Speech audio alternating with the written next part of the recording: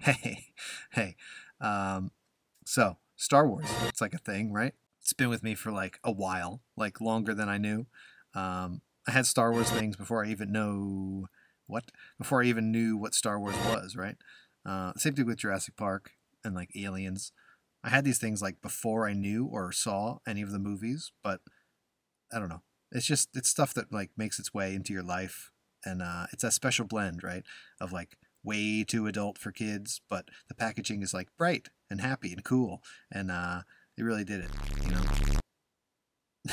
God. Anyway, Star Wars, right?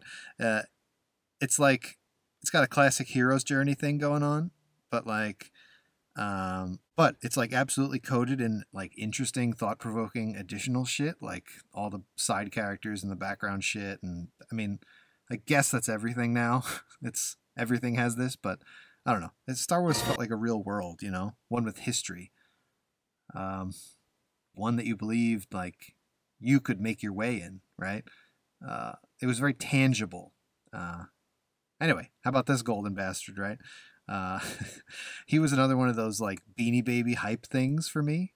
Uh, I remember being little and being told like Leia and C3PO are the rarest ones, okay? And like no other figures from the line were gold. So, I mean, I guess I believed it, right? And and uh, I only ever had one Leia, so I mean, maybe it was true. But uh, we're talking from the Power of the Force line, by the way. Not uh, well, I think it's that one uh, not like the original 80s or 70s. I don't know the ones that not not the ones that look like uh, what are those adventure people?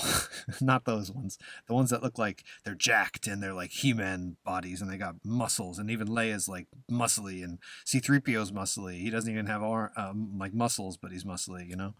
Um, as a kid, this is embarrassing. As a kid, I legitimately kept him in like uh, a jewelry box, like uh, with a little layer of like cotton on the bottom, so he wouldn't get scuffed up.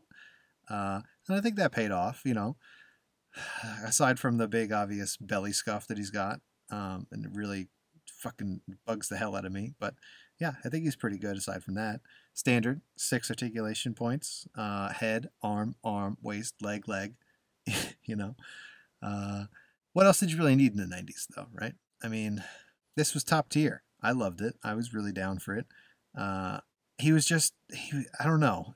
This figure in particular really just jived with me. You know, it was like my absolute jam. I, he, he was he was so interesting, you know. He was he was shiny, and uh, yeah, I don't know. I just there was something special. I at this point when I had the figure, I hadn't seen the movie yet, but I was like, wow, this this shiny shiny guy, you know.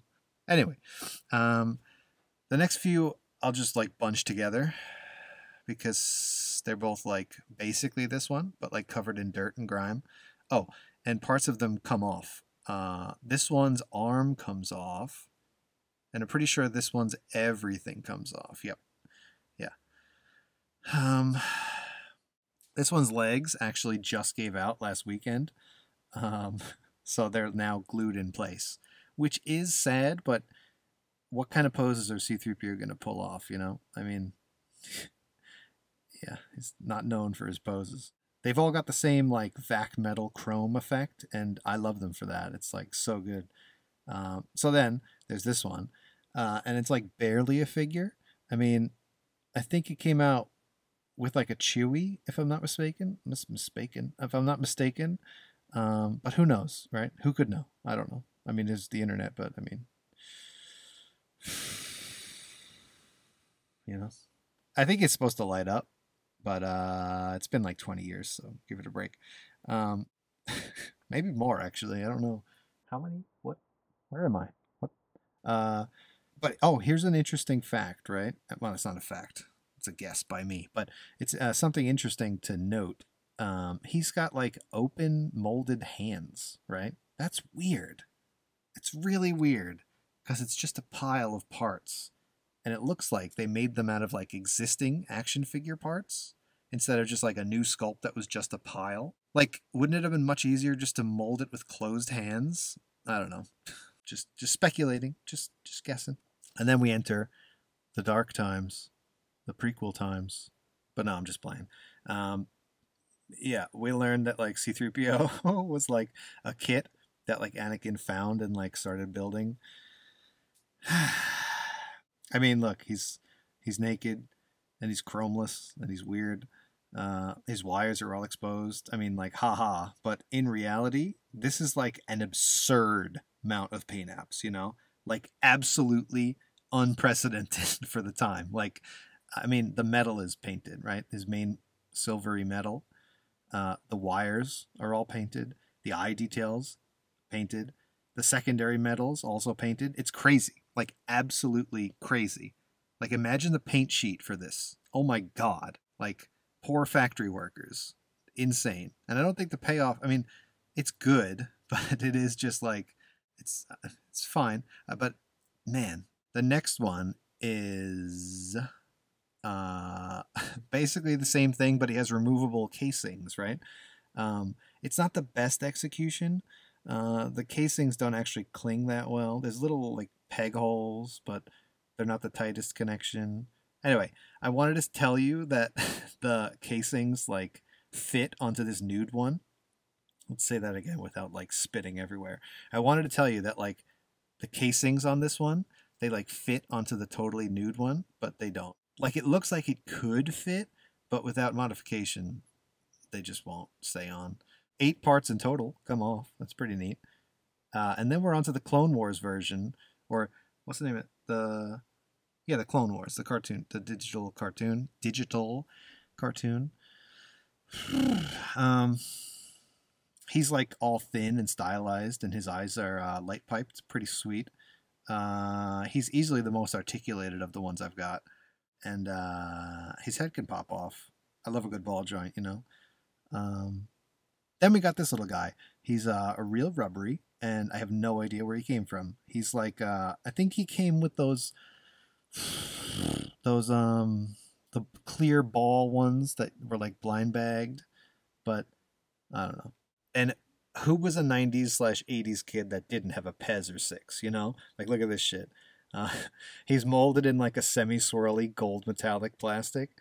It like doesn't match any of the others, but it is just a candy dispenser. So like, cool out, you know, chill, chill down, cool, Ch- chill out and cool off. and lastly, we got one of the many Black Series versions of C3PO. Uh, he's the version that doesn't have elbows. I think because of 4-LOM, they like added elbows to the articulation on newer ones, but this one doesn't have it. I could be totally wrong here, um, but I don't know. He's fine. Uh, imagine this in gold vacuum form chrome, though. Oh my god! Wow. That would be great. Uh, currently, he has one silver leg. It's fine. It's great. Um, he's got like his vacant but still slightly haunted expression. You know, I think they nailed it. All right, uh, that's all of them I got anyway. Um, you know, I know there's like an actual billion C3POs out there. This is by like no means a cohesive rundown of them all, but this is just the ones that I've managed to hold on to over the like what is it, 30 years I've been on this planet. Yeah. Uh, my fave's got to be the original. You don't just put a toy in a jewelry box, rest it gently upon a cotton poof, and have it not be your favorite, you know? Um, probably slightly too much information, but uh, oh yeah, happy Star Wars Day. Uh, all right.